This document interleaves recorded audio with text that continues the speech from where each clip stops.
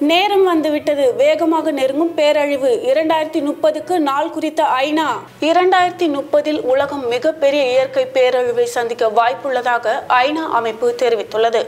ஐநாவின் intergovernmental panel for climate change அமைப்பு நேற்று இரவு அறிக்கை ஒன்றை வெளியிட்டது. நானூறு பக்கம் உள்ள அந்த அறிக்கை மனித குலத்திற்கு மிகப்பெரிய எச்சரிக்கை விடுக்கக்கூடியது. மனிதர்கள் தற்போது இருக்கும் வாழ்க்கை முறையை கடைபிடித்தால் இரண்டாயிரத்தி முப்பதில் கண்டிப்பாக உலகம் நீரில் மூழ்கிவிடும் என்று எச்சரிக்கை விடுத்து இருக்கிறது.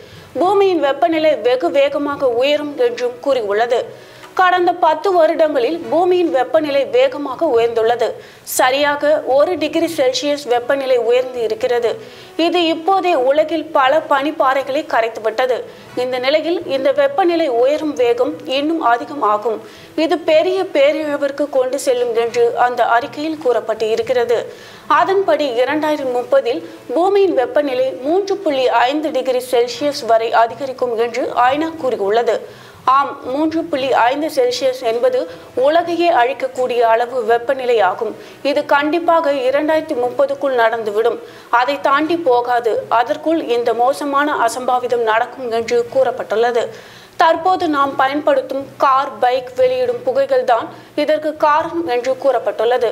இரண்டாயிரத்தி இருபதில் நாம் பயன்படுத்தும் வாகனங்களின் எண்ணிக்கை அப்படியே இரு மடங்கு உயரும். இதன் காரணமாக புகையின் அளவு அதிகம் ஆகும் என்று கணிக்கப்பட்டு இருக்கிறது அதேபோல் தொழிற்சாலை புகைகள் மூன்று மடங்காக உயரும் என்றும் கூறப்பட்டுள்ளது. இதே வேகத்தில் வெப்பநிலை உயர்ந்தால் உலகில் உள்ள முக்கிய பனிப்பாறைகள் எல்லாம் அப்படியே மொத்தமாக உருகிவிடும். இதனால் உலகில் எட்டு மற்றும் பத்து சதவீதம் மட்டுமே நிலம் இருக்கும்.